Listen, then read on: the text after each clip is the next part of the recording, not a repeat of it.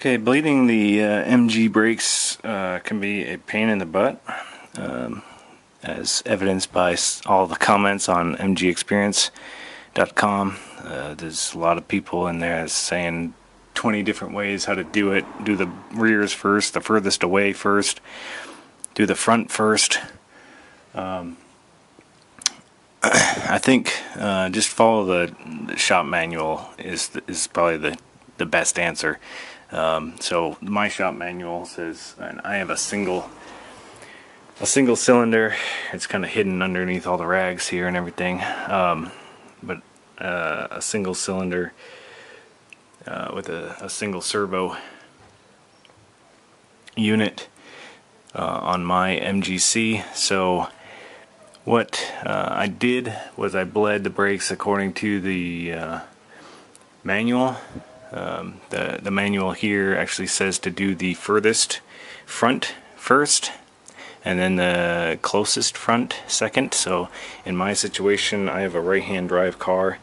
The uh, brake um, master cylinder pumps out via one line into the servo.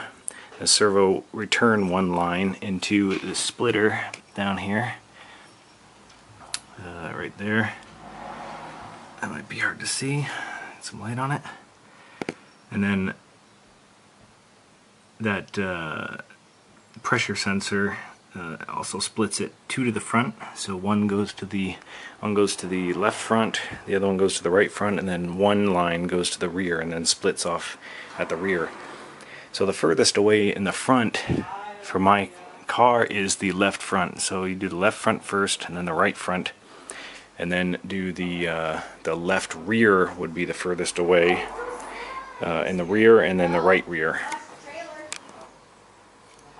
Okay and then once you do um, all that uh, I had done all that and uh, bled the brakes uh, according to the uh, manual and did it several times make sure nice clean fluid was coming out all around. And I still had a mushy pedal so I figured I had some air either in the master cylinder or in the servo unit somewhere that was trapped in there. Now my my uh, MG has one exit line out the top. I'll try to pull back some of this. There's one exit line right there that comes out the top. So I figured the air should be at the top and come out the line. So it shouldn't get stuck in there. But in order to not have to do a bench bleed, I uh, tried to find some solutions on YouTube and this uh, came up. So I figured I'd give it a try and it's basically a one line. You connect one line to the closest wheel which is the right right front here in my case. So I got one line going all the way down connected to the bleed screw and then up here it's submerged inside of the uh, the fill tank. And so you basically pump the brakes.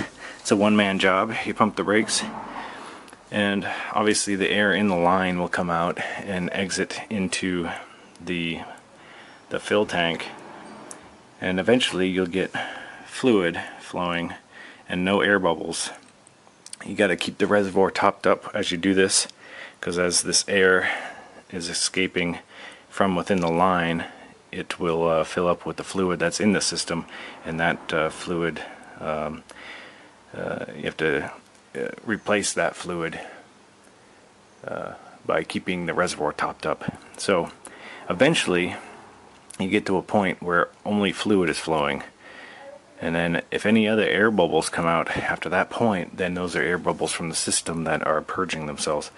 And in my case, it, it worked like a charm. Um, I felt the pedal was really mushy in the beginning. As I as I uh, bled the brakes in this in this manner, the uh, fluid started to fill up the cavity. There was some air bubbles that would come out um, every now and then. Actually, I heard some air escaping through. I think something uh, in the servo. It seemed like it was coming over in the servo. I could hear like some air uh, escaping somewhere or being pushed through the system. and I could hear air bubbles bubbling up inside the reservoir as well. And eventually, uh, the brake pedal got stiff again, just like it was uh, originally. And now I have a nice stiff brake pedal. The fluid is obviously filling the complete line here, so I'm going to have to uh, dispose of that. And um,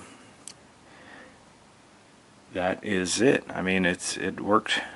My brake pedal is now really stiff, um, just like it uh, was before, and I don't think I'll have any further problems.